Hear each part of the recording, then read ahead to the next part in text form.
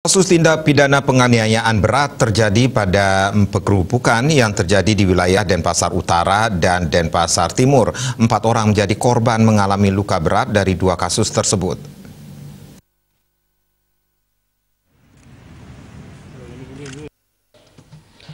Kapolresta Denpasar AKBP Bambang Yugo Pamungkas untuk pelakunya di wilayah Denpasar Utara berinisial PAB, sedangkan yang di wilayah Denpasar Timur berinisial WK. WK sendiri merupakan salah satu anggota Ormas di Bali. Dari para tersangka, polisi mengamankan barang bukti berupa senjata tajam dan lainnya.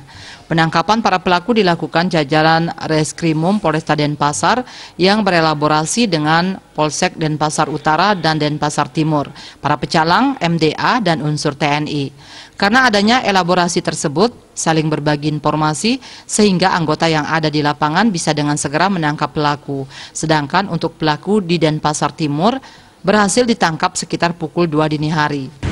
Tapi dengan kesikapan kita, dengan elaborasi, baik dari reserse kriminal umum, kemudian dari Kapolsek Denpasar Utara, bersama-sama dengan seluruh stakeholder baik dari MDA yaitu para pecalang semua yang ada di lapangan kemudian dari unsur TNI maupun dari pemerintahan kota tidak lebih dari 24 jam kita bisa mengungkap pelaku-pelaku yang telah mencoreng pelaku-pelaku yang telah merusak maktan pelaksanaan rangkaian Hari Raya Nyepi.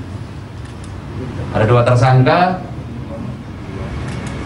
yaitu dengan inisial WK, dan PAB.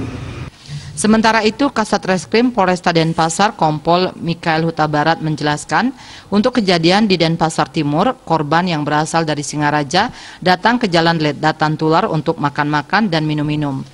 Terjadi cekcok, kemudian pelaku mengambil senjata seperti tombak dan memukulkannya ke kepala korban. Kemudian korban bersama teman-temannya lari menghindari tersangka dan melaporkan kejadian tersebut ke SPKT. Dari laporan tersebut, Satreskrim Polresta Denpasar melakukan koordinasi dengan pihak desa adat untuk mengecek keberadaan pelaku. Setelah mendapatkan lokasi pelaku, tim melakukan penangkapan. Korban penganiayaan tersebut ada tiga orang. Kejadian ini terjadi diduga karena pengaruh minuman keras.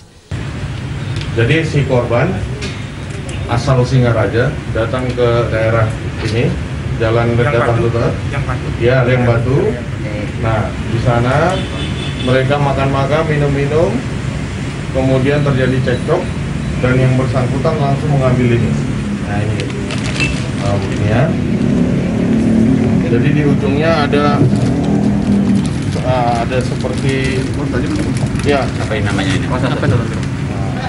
Nah ini pisau. Ini apa namanya? Tombak. Tombak.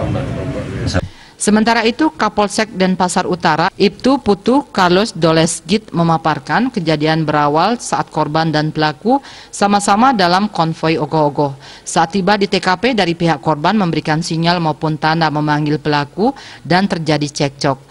Dalam cekcok tersebut, pelaku terkena pukulan yang membuat mulut dan hidungnya berdarah. Dalam keadaan terluka, pelaku pulang dan menyampaikan kejadian tersebut pada orang tuanya. Selanjutnya pelaku mengajak orang tuanya untuk bertemu dengan korban di TKP.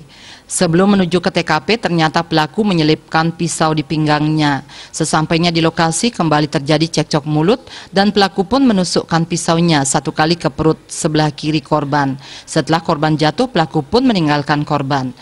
Awalnya adalah antara korban dengan pelaku sama-sama berjalan beriringan dalam konvoi ogoh-ogoh Selanjutnya sampai di TKP uh, eh, dari pihak korban memberikan sinyal-sinyal yang menunjukkan memanggil pelaku.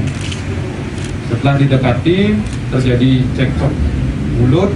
Untuk kedua tersangka mereka dijerat dengan pasal 351 ayat 2 KUHP dengan pidana maksimal 5 tahun penjara dan undang-undang darurat.